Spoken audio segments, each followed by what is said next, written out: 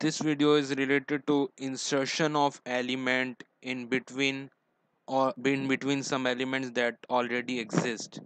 So we have to insert element. Suppose here is a linked list. Uh, we have to insert an element after 20 okay.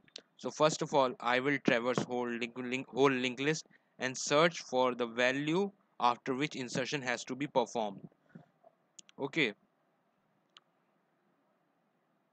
so so i have 25 here. Okay. So its address is 500 so i want to insert it here. So what manipulations i have to do? I have to insert 300 in the next of new node and the address of new node that is 500 to the next of 200 okay. So for this I have to first perform. Hmm, I have to first erase null here. And I have to assign 300 here. Okay. Then I have to assign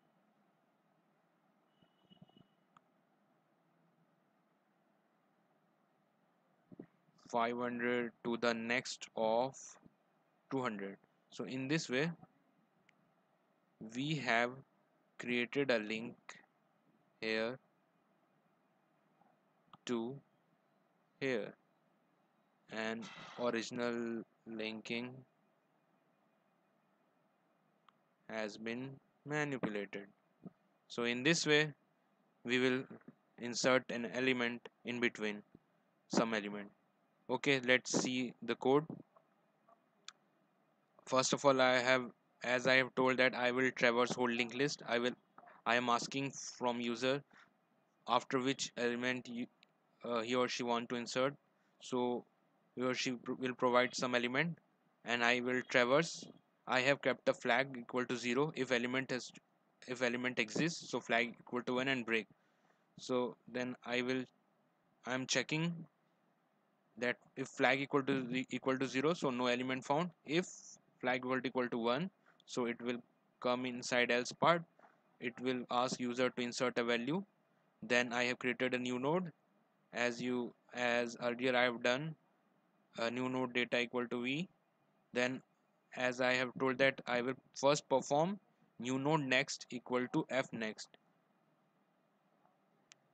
F is here. So f is here.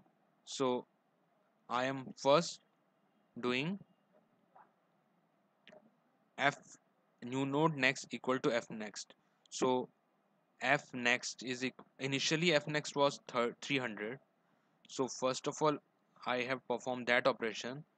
So 300 comes here. Then I am doing new node next uh, f next equal to new node. First of all I am doing I am doing new node next equal to f next. So that manipulation will be okay.